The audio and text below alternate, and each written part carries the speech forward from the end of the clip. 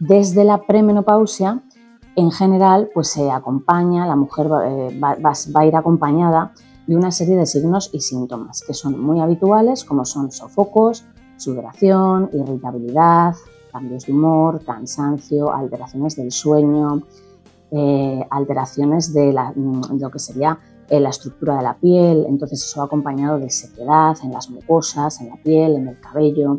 Entonces, bueno, pues son muchos signos y síntomas que afectan a la calidad de vida de la mujer, por supuesto, y que hay que intentar pues, controlar ¿no? de la mejor manera posible, pues porque tenemos que seguir con nuestro día a día, ¿verdad? No tenemos que, digamos, que pasarla con sufrimiento y sin más, que hay muchísimas opciones terapéuticas que nos pueden ayudar durante esta etapa a sobrellevarla lo mejor posible, porque está claro, porque bueno, que hay que pasar por la menopausia, pero que a la vez tenemos que seguir haciendo nuestra vida, yendo a trabajar, cuidando de nuestra familia, ya sean niños pequeños, familiares mayores, teniendo nuestros hobbies, manteniendo nuestra vida social. Entonces, si tenemos muchos signos y síntomas, será importante